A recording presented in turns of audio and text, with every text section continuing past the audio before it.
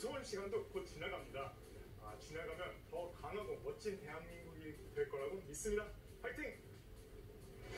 공이 나오는 순서와 관계없이 번호만 맞으면 당첨입니다. 복권 발행을 통해 조성된 기금은 저소득층을 위한 복지사업과 장학사업 등 어려운 이웃을 위한 공익사업에 사용됩니다.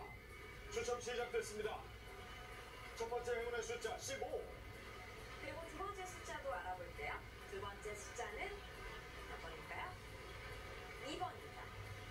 15번, 2번에 이어지는 세 번째 행운의 번호는 21입니다.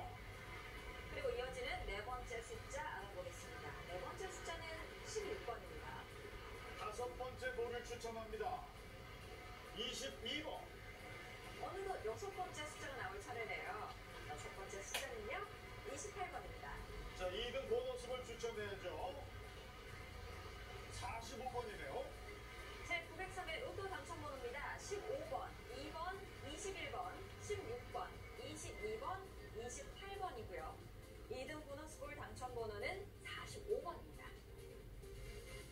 68대 황금손 바이올린 주자